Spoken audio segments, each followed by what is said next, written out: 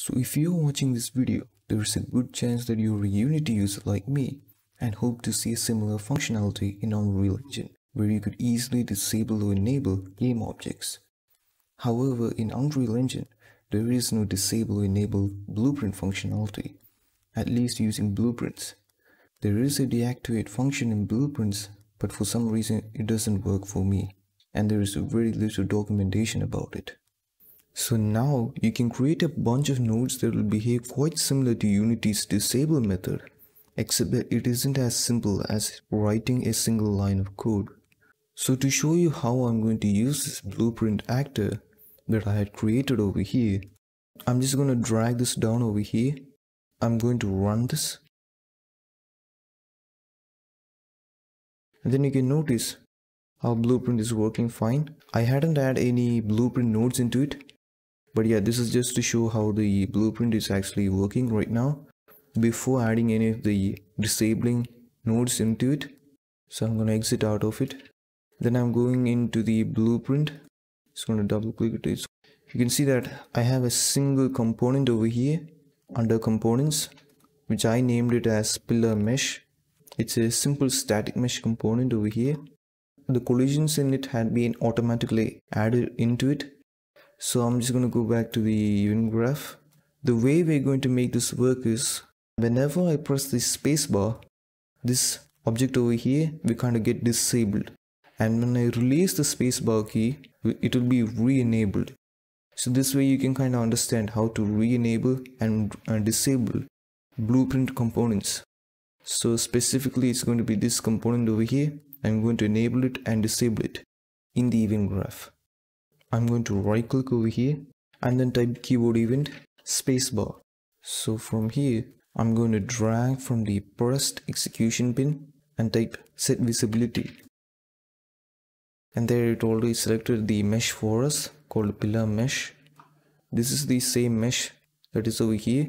You can also kind of delete this and drag the pillar mesh from the components and add it into set visibility if you want it that way so after I created this I'm going to drag from the set visibility and then type set collision enabled.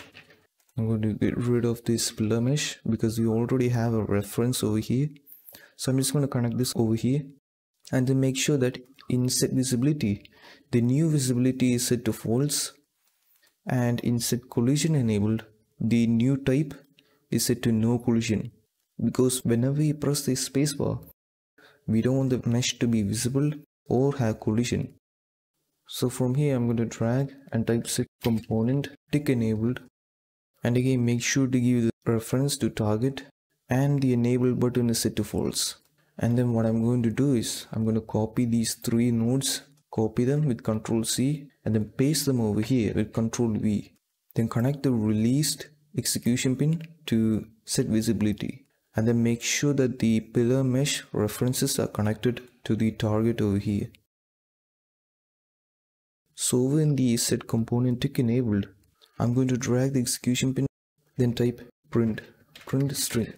And I'm going to give this a name pressed so this way we kind of know whenever we press the key and I'm going to copy this and paste this over here and then connect the execution pin and type released. So with this we kind of know whenever we press the spacebar and whenever we release the spacebar from the released execution pin under set visibility make sure to enable new visibility.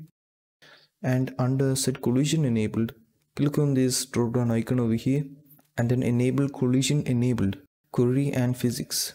And then under set component tick enabled click on this enabled checkbox over here and set it to true.